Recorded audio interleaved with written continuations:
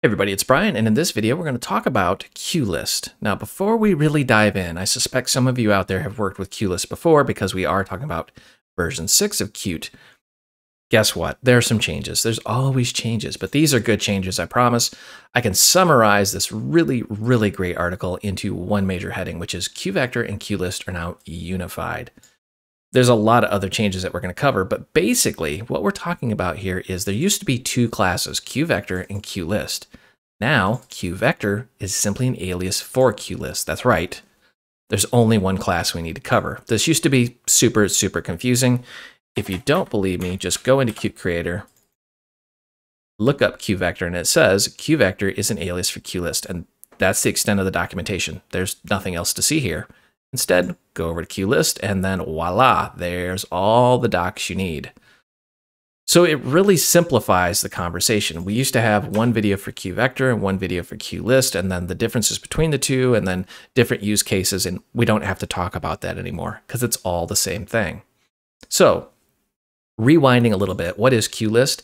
It's a templated container. Templated meaning you can put pretty much anything in it.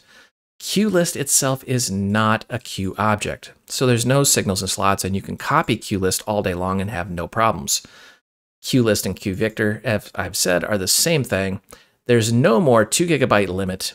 This is amazing. If you've ever hit that 2 gig limit and tried to figure out why, this is just absolutely outstanding. Everybody stand up, clap, throw your chair across the room, do whatever you need to do rejoice. And of course, QList will auto resize itself, and it does this unapologetically. So if you've ever run into memory constraints, especially if you're starting to get up here, be aware that it will automatically manage its memory in the background. You don't have to worry about it. Speaking of memory, QObjects and queue pointers need to be cleaned up. Notice I differentiated between the two. A QObject cannot be copied. So as we've demonstrated in previous videos, putting a QObject through a template or a templated container usually ends up with you can't do it because you're trying to make a copy. So you have to work with a pointer.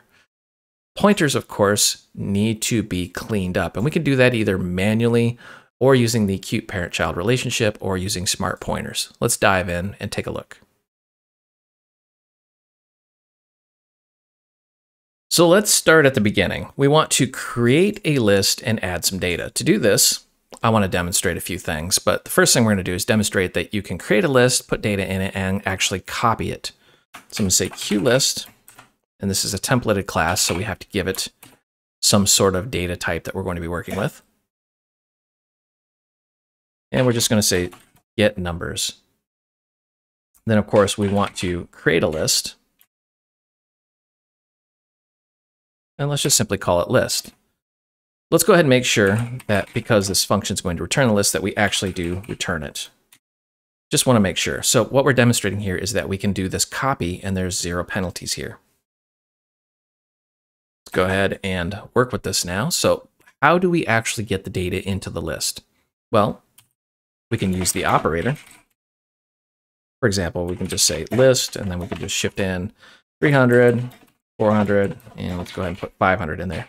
Makes it super convenient to put a bunch of values in rapid succession. Or if we wanted something a little bit more complex, let's just make this overly complex. I'm going to say int max equals, and you notice I have this QRandomGenerator in our includes.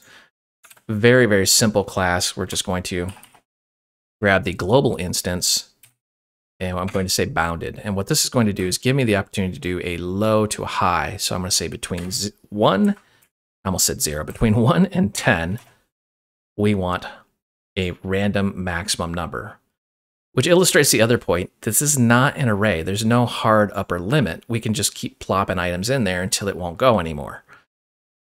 So we don't actually know how many items we're going to put in. We're going to let this just figure it out through our random number generator. And then I'm going to say for int i equals 0 i is less than whatever random maximum we have. And then let's go ahead and increment i. And then we're going to append. So I'm say list dot append. And you see there's a bunch of different ways to do this, but we're just going to use this last little guy right here. It's going to figure it out for us automatically, of course. But I'm going to say, let's go ahead and just shove a random number in there.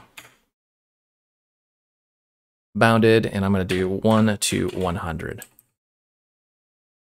So really all that's going to do is just generate a list between 1 and 10 items, and each item is going to be between 1 and 100.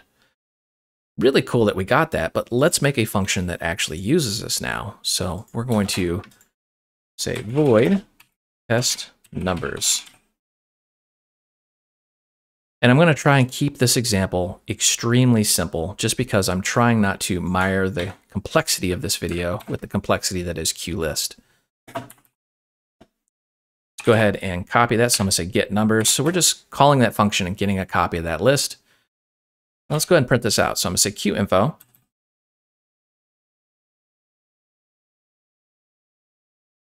Before we get too much further, let's actually put this down here and demonstrate as we go.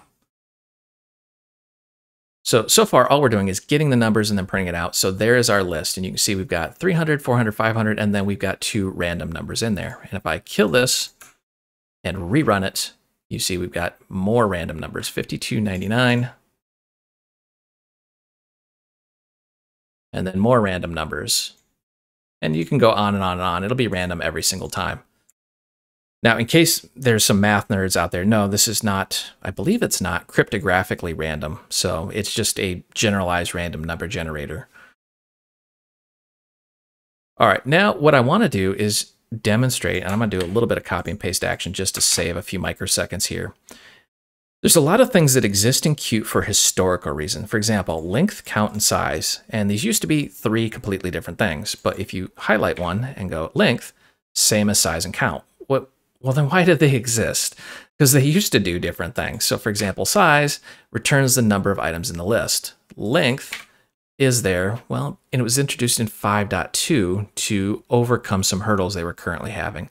Count is a little bit different because count, you can actually say, hey, I want count with no parameters, and it's going to give you the same as length and size, or I want count with a specific number of items, which will, of course, tell you how many instances did I say that right? Instances of an item there are in the actual list.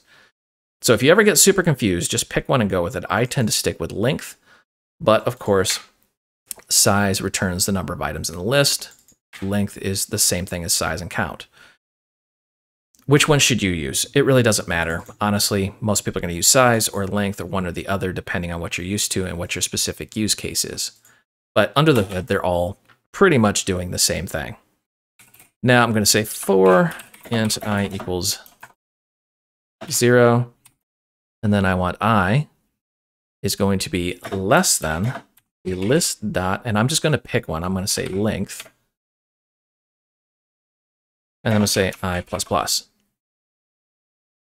So from here, all we're going to do, I got that menu helping me out here. So I'm going to copy and paste qInfo i, our current index, equals and then list at. Or you can do it kind of the C++ way, just like accessing an array. So what's really the difference between at or doing it the old school way is at is a constant, meaning that's read only. You're not going to be able to modify that. And we're going to demonstrate that later. It doesn't really affect us now because we're not trying to modify it. But if you want to read, at will give you a const and list will give you something you can actually modify. We're to do this again, just for giggles here. I'm to say qInfo.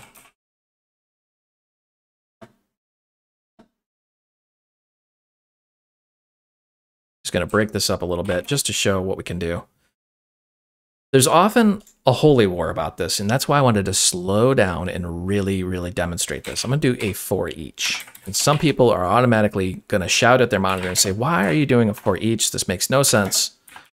But this is the magic of a container. You can just say for each item in the container, do something. And then you can just qInfo it out in this example.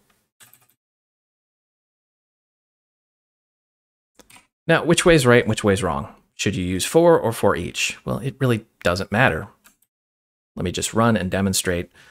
There's a lot of pros and cons to using each one, but what you can see here is the for gives you the actual index, where the for each will not. You just get the item. So that's where you got to be a little bit careful. And yes, for is faster than for each, but on most modern computers, that speed is really not something you're going to notice unless you're doing something really, really intensive. So if you need the index, do the for. If you don't need the index, you can always use the for each or the for. It doesn't really matter. Okay, prepare to be confused because if you're used to just arrays and not containers, this gets very, very confusing. I have a test function I made just for this little section. I've commented out the previous one. All we're doing is we're getting a QList of integers from our get numbers function, which of course is just going to create a list and copy it for us. So just to avoid any confusion, this is basically what it's going to look like when we get it. Some randomized list of numbers. That's all it is. Let's go ahead and kill that. Now let's look at how we would want to modify this. So we can do what's called a direct mod or direct modification, which is saying list, and then we need a position. I'm going to do the zero, which is the first item. And I'm going to set this to, let's go with 1000. So what we're really doing here is say, take that first one and modify it. If you try to do something like this, and I get a lot of emails saying, why won't this work? At. Well, notice it's a const reference. So this is not going to allow us to modify it. So if you try to do zero equals 3000, you're going to get this ugly little message right here. Cannot assign a return value because the function at returns a const. Whenever you see const, it just simply means read only that exists purely for speed. You see how we're using at in our for loop, which means it's faster because we don't have that modify. Now, when I say faster, it's not super much faster. It's still going to work. You're probably not going to notice a speed difference. But what we're able to do is directly modify the list. At will not let you modify it. Just for giggles, run it one more time. You see the first one is now 1000 pay special a note to that because we're going to move that around this list on accident. Now, when I say on accident, what I tend to see is developers will say, oh, well, the first one's a thousand and that'll never change. So I'm just going to say, always use the first one whenever they want the number 1000. Well, appending does not break that rule, but it does modify the list. So we're going to say list.append, and let's go ahead and append 99. And there's another way, which we've already covered, which you can just use the operator. 2000, and then 3000. And this is where new developers start to get a false sense of security because guess what? You're modifying this list, but the first item is still 1000 because append is just going to slap those on the very end here. Okay, that makes sense. Now comes the problem. When we start talking about inserting. Inserting is, well, almost comical. Like if you've ever seen an episode of The Three Stooges, uh, when they, I think it's Moe or Larry, probably Curly knowing my luck, but one of them goes in and just slams something on the table and everything else shifts around. So we're going to do just that. We're going to say list dot insert, and we're going to insert at the zero position, and we're going to insert the number 55. So what are we doing here? We're modifying our list but we're putting it at the very beginning and we can specify the position. If we save and run, this is what's happening under the hood. You notice how 1000 is no longer at the zero position. Instead, our 55 is. That's why you never, never, never hard code the index of what you're looking for. You're always going to do a search, which we're going to demonstrate later on in this video. And just to take this to an extreme, we can grab this and we can do something like one position. Let's put 22. And then, in case you're wondering, yes, you can reuse the positions. It's just going to keep modifying that list. So I'm going to say 255. And just to take this to an extreme, yes, you can do something like that. Why would you want to do that? I have no idea, but you could do it. And this is what it does in memory. It just simply keeps inserting and modifying our list. So our humble little list that was maxed at 10 items is now 20 items long, and our 1000 which used to be at the zero index, is now at position 9. So that gets a little bit scary. Now, let's take a look at removing. And removing is not for the faint of the heart because this is where some memory management comes into play and Qt will do things unapologetically. So I'm going to do the copy paste. I'm going to print that length out. I'm going to say list dot and if you say remove, you see there's a bunch of them, and this gets super scary. So I'm going to jump down to remove at. And I want to remove at a specific position. So we're going to just remove that first one. Let's grab this and copy paste. And we're just going to show the length of this shrink over time. Now, instead of remove at, I want to remove one. So what remove one does is it'll look at your list and go down till it finds the first occurrence of it. So I want to remove that first occurrence of 255. Bang, right here.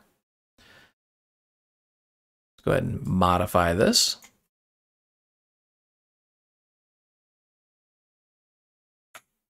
Give it the good old copy paste here. And now I want to remove all. That's what I love about these. They're very intuitive. You can tell exactly what's going to happen before you even run it. I mean, we haven't run this thing yet, but you can tell exactly what's going on. Remove all is going to go through and remove all occurrences of whatever value you give it. Let's save and run and demonstrate before we go too much further. So sure enough, our list is shrinking. And let's go ahead and put that for loop at the very bottom just so we can see what's going to happen. So we can validate those 255s are no longer there. Sure enough, wham, they're gone. All right, let's say we want to get rid of 2000 here. Hmm. This is a common mistake. I see people do this all the time, and it's super frustrating. So we're going to go ahead and we're going to say dot remove, and we're just going to say we didn't even bother to read the documentation. So we're going to try and remove, right? I want to point out before I run this, I'm even going to give it a build. There are no warnings, there are no error messages, it's just going to work, or so you think. Notice how you get this assert failure, and then I or someone else who's out in the internet who knows how to use Qt is going to get the, wait a minute, what does this index out of range mean? Why didn't it remove it? Why am I getting an error? Always highlight it, hit F1, and you'll see what's going on. So this removes n elements from the list starting at position i. This is why this is so stinking confusing. Removes n, but n is the second one. n number of elements from the list, not the actual item starting at the position. Okay, so this wants where are we starting and how many things are you going to wipe out of here? Not an actual value. So I want to start at, let's say, 5, and I want to wipe out, uh, let's say, up to 100. There isn't 100 things in this list, but watch. Bang. No compiler error, no warning, no nothing. It tries to run, and then it just dies with index out of range. Oh, that's frustrating. So let's scope that down a little bit to 7. So from 5 to 7, we're going to wipe out some items. And now magically it works. Did you catch what's going on here? Look at the screen. Remove 5 to 7. 0, 1, 2, 3, 4, 5, 6. So it went to the fifth position, removed them, and then modified the list around. But we didn't actually remove our 2000 like we tried to in the very beginning. To do that, we have to find the index of or search for it, which we're going to cover in the next section. But I wanted to highlight that remove will betray you time and time again. Be very mindful of what that does. It's looking for a starting index and number. When in doubt, highlight in F1. So removes n elements starting at position. All right, as we've demonstrated, the list is modified, which means the index of the individual elements change. And to really hit that home, I made a new function called test search, which has a QList from our get numbers function. And we've got a special item called 999. And we're going to insert it at the first position and then append it. Now remember, with append, we don't know what the index of the last item is. So let's just go ahead and print that list out and see what this looks like. So there it is at the first position, but then it's at the 10th position. And remember, this is a variable or random length from our function. So every time we run this, it's at a different position. It was at 10, now it's at 11, now it's at 13, and so on and so on. So we can't really predict where that last one's going to be at. This is where searching comes into play.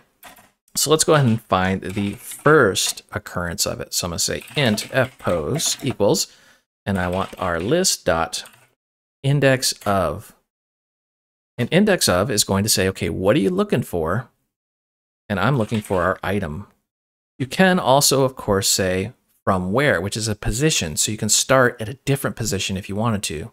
We'll talk about that in a minute, but right now, let's just find the first occurrence. And then, of course, I want to actually print this out on the screen. So I'm just going to say qInfo, our first is at F pose. Now, if that wasn't easy enough, how do we get that last position? Remember, we're appending, we don't know where that is. I'm to call that lpose. This is last. And is the last index of. So this is going to keep going through your list and look for the last occurrence of that item. Let's go ahead and print that out. Let's save run. And let's see what this looks like here. So first zero, last zero. Uh-oh, we have a problem in our code. Let's find out what's going on here. Ah, yes, very simple. I was the helpless victim of copy and paste. All right, let's try that again. All right, so first zero, last five. Sure enough, ta-da, it's right there. Let's run this a few more times real quick just to prove that it is actually working. First zero, last at 11, it works. Now, that's great and all, but let's say we have multiple occurrences of this. For example, let's say I just go in here and I say insert at the, I'm just going to take a wild guess that this list is going to be big enough. That may cause problems if the random number generator really shafts us, but we're going to insert at the third position. So let's run this again real quick. Notice what's going on though. We have 999, 999, and of course 999 at the very end. But we only got the first and last. How do we get that middle guy here? How do we find him? There's a little trick I'd like to show you, and it's actually not unique to me. This isn't something I invented, but let's find them all. So I'm going to say int pose for position equals, and we're going to do the list dot index of. So we're going to find the first occurrence here. We want to find the first occurrence of our item. If my keyboard would help me out here. You ever get that where like your keyboard is like slightly off from where you're expecting it and then your typing just gets all jacked up? That's what's going on there. So say qInfo and let's go ahead and we want to know where it is at. Now remember, we're already have done an index of, so we should have some sort of position. Now I'm going to get the next position and I'm going to say pose equals list dot index of, and we want, of course, that item. And now we want to start searching at the position plus one. Now a do loop is just very dangerous, so we have to give it some sort of terminator here. So we're going to say while, and we want to make sure that position is greater than negative one. So if you're a C++ newbie, what's happening here is we're saying get the position display it out, try to get the next position. But of course, if it's negative one, this is just not going to work. We could have done this differently and done a while loop and say while, you know, pose is greater than negative one, but I wanted to print this out at least one time. That's the confusing bit about programming is there's a billion different ways to do that. So let's go ahead and save and let's find every occurrence of that position, or I should say that item. So we're at zero, at three, and at six. So zero, 3, and 6. And if we were to say run, of course, we are at 0, 3, and 14. So 0, 3, and 14. So this is working as expected. This is, of course, pretty fast, but the more items you have, the longer that's going to take. Now, when we say longer, we're talking usually milliseconds. If you start really grinding into, you know, multiple seconds, then you've got some sort of issue that you could probably solve using a different model of some kind. So I'm to say qInfo. And what we're going to do here is see if this actually contains an instance. And I want to know if the list dot actually contains the item.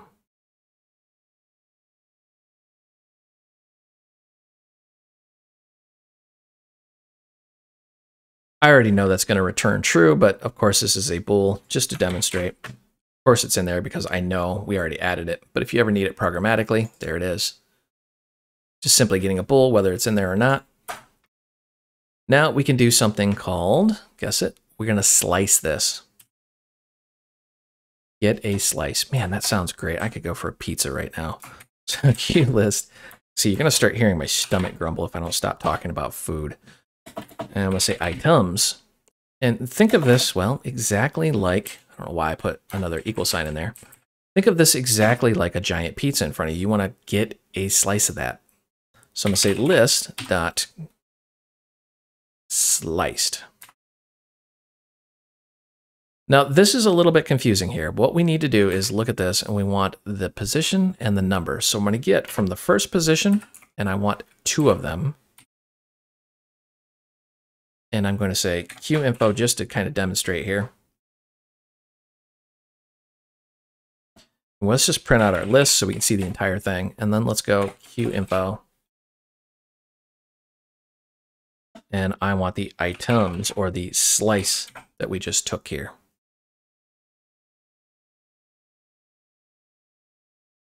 So our QList is 99 and all these values you can see, we got the first two items. So let's modify this a little bit here. And let's say I want to go from the first one and I want to get up to four of them. Save run and see what that slice looks like. So sure enough, it's 300, 400, 999, and 500. So that is how you get a slice, or you guessed it, a part of that list, so in case you wanted just a little subsection of it for a function or something like that. I'm going to admit it. So far, we've taken the easy route and we've been working with integers. And I'm not a big fan of doing things the easy way because the real world is often much more challenging. So let's talk about memory considerations. I've got this class here, which of course is a Qt object called test. And in this class, we're just seeing the full object lifecycle, the constructor and the deconstructor. I just want to know when this is created and when it's destroyed. Because in C++, memory is like a real thing and we have to deal with that. So I'm going to demonstrate two different ways of managing memory. So I'm going to say void, and let's call this test delete all. And I'm going to try super hard to make sure my keyboard's like right at that sweet spot where my spelling is just on point, but of course I can see I already missed something. So what we're going to do here is we're going to say test, and because we cannot copy a QObject, we need to work with pointers. And let's call that list. So what do we have here? We have a QList, which has got a bunch of pointers to test classes. Okay. So to recap, those are not the actual instances, but pointers to the instances. Hmm. All right, so let's go ahead and say for int i equals 0 to i is less than, I'm just going to pick a magic number 5. What are we doing here? We're going to put some information in here. So I'm going to say list.append. And this is where you'd get into trouble if you were trying to copy. So if I just said something like test, it's not going to work for multiple reasons. First, it's not going to work because we're trying to copy a QObject, but also because we haven't matched our template. So we would have multiple issues here if we tried to do that even though the IDE is saying there's no issue, we know better. So let's go ahead and put that pointer back in there. Now we have just created another issue. Memory management, there's no parent. So we've learned in Qt that when you're working with QObject, it has a parent-child relationship tree, which basically is Qt's really awesome way of doing memory management for us, but we're not using that. So now we have a list of pointers we now have to manage. Oh, that's not good, right? So you may be thinking I'm going to do some obnoxious for loop and we're going to call delete. No, there's a macro called q delete all that does all of that for us. So you just give it a container and voila, it does it.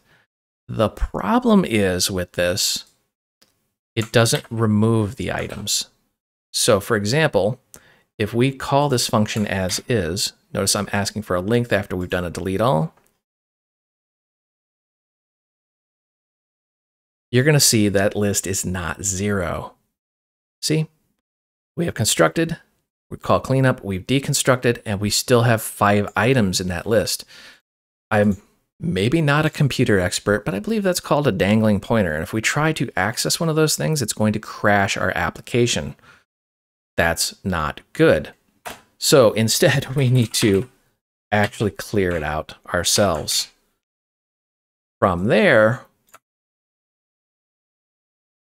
not only have we deleted all the memory, but we've also cleaned all the items out of the list so we don't have those dangling pointers. See, ta-da, zero, works as expected. Now, that is not a bad way of doing it, but it's probably not the best way of doing it. So there are many, many billions of ways of doing things, but we're going to work with smart pointers. So we're going to get rid of that, put that in there. So when I say smart pointers, we're talking about, well, things that we've already covered in previous videos, but we're going to talk about the QSharedPointer. So I'm going to say QList, and I'm going to actually type this out rather than copying and pasting, because I want you to understand the logic. We're going to say Q shared pointer.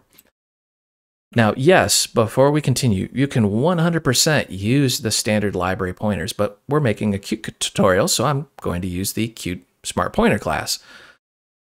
But definitely, if you want to use the standard library, use the standard library. That's the beauty about Qt. They don't really force you into one thing or the other. Now, notice the double arrows. This confuses people, but basically, we're using a templated class inside of a templated class, so you have to have those double pointers. It's super confusing, but if you're a C++ newbie, just understand what you're doing. Template within a template. So our standard pointer list there we go. Or not standard pointer, shared pointer list. You see what I mean by this gets confusing fast. So we got a QList of shared pointers, which is going to automatically manage that memory for us. Okay, let's go ahead and do a for loop here. And then let's go ahead. That almost got bad.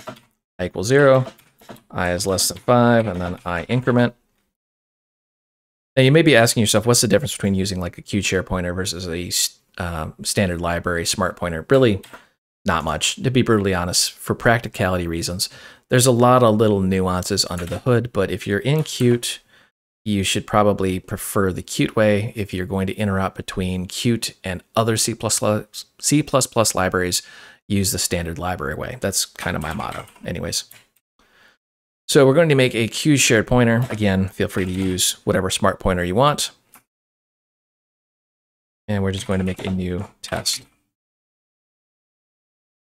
Now remember, no parent. So what are we doing here? There's no parent-child relationship. We are going to use a shared pointer. So this is auto memory management.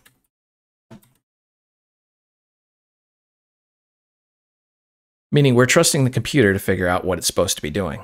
And then we're just going to append this. And we're just going to append that item.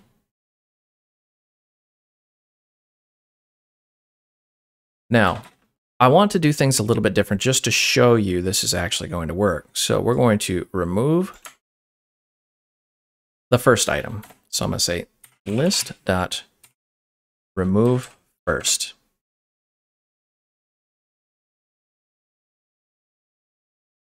And then I'm going to just go ahead and clear it. So I'm going to say qInfo, which will just wipe out the rest of them.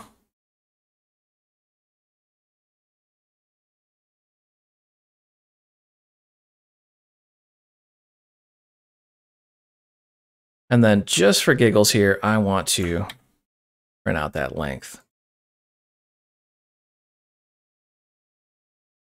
Save run, and let's see this in action. All right, so we've constructed a bunch of stuff. We've called remove first, and you see that first one, you can tell by the memory, was destroyed. Then we cleared the list, and everything else got cleared as well. It just works. I love it. It's so simple. It's so beautiful. I hope you enjoyed this video. You can find the source code out on github.com. If you need additional help, myself and thousands of other developers are hanging out in the Void Realms Facebook group. This is a large group with lots of developers, and we talk about everything technology related, not just the technology that you just watched. And if you want official training, I do develop courses out on udemy.com. This is official classroom style training. If you go out there and the course you're looking for is just simply not there, drop me a note. I'm either working on it or I will actually develop it. I will put a link down below for all three of those. And as always, help me help you. Smash that like and subscribe button.